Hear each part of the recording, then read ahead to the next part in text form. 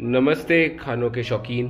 आज हम आपके लिए लाए हैं एक बहुत ही बेहतरीन कोलैबोरेशन तड़का ट्रैवलर्स चैनल और Cooking Tale with Sunita channel दोनों मिलके आज एक बहुत ही बढ़िया डिश बना रहे हैं, मूंग दाल का हलवा। तो चलो जानते हैं, कैसे बनता है ये और क्या है इसमें, इसके इंग्रेडिएंट्स उसके लिए हमने लिया है एक कटोरी मूंग दाल और उसको चार पाँच घंटे भिगो दिया था और अब मिक्सी में पीस लिया। और एक कटोरी ली है शुगर और थोड़े से ड्राई फ्रूट काट लिए हैं। आधा लीटर दूध और उसमें थोड़ा सा हम डालेंगे घी पाँच सात टेबल स्पून हम घी डालेंगे। आधी कटोरी की जितना डाल देंगे। तो मूंग दाल पीस के रखी है, वो डाल देंगे और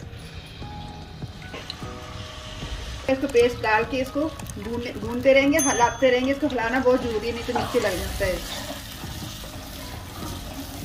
जो हलवा हम बना रहे हैं मूंग का पेस्ट जो डाला था अभी थोड़ा थोड़ा ऐसे कढ़ाई छोड़ने लग गया अभी थोड़ा और भूनेंगे इसको दो तीन मिनट दस पंद्रह मिनट हो गए इसको भूनते भूनते। अभी खिला खिला भी लगने लग गया तो थोड़ा सा कलर इसका और ब्राउन करेंगे। आपने आपने ये हलवा कितनी बार खाया सुनीता? मैंने तो एक दो बार ही खाया है। कभी बनाया नहीं घर पे। हमने तो बहुत बारी बनाया अभी दस पंद्रह बार तो बना लिया होगा। हमारे बच्चे को बहुत पसंद है। हाँ आज हम आप, आपके घर में आपके इसमें बना रहे हैं। हलवा इसको भून गया ऐसे अच्छे से एकदम ऐसे खिला खिला हो गया इसको पंद्रह बीस पच्चीस मिनट लग गया इसको भूनते भूनते। इसको टाइम तो लगता पर बहुत स्वादिष्ट जो बनता हलवा।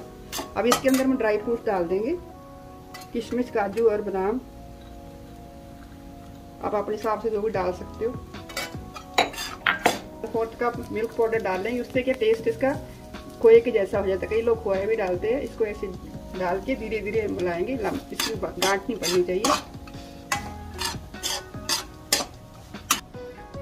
स्वाद के अनुसार चीनी डाल देंगे।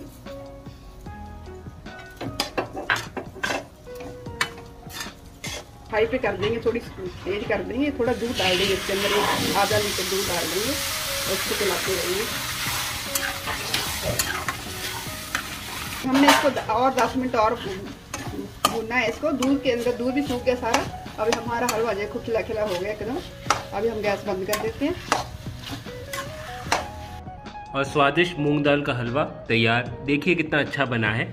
आपको ये वीडियो पसंद आई तो ज़रूर हमारा चैनल तड़का ट्रैवलर्स और कुकिंग टेल बाय सुनीता को सब्सक्राइब कीजिए। धन्यवाद।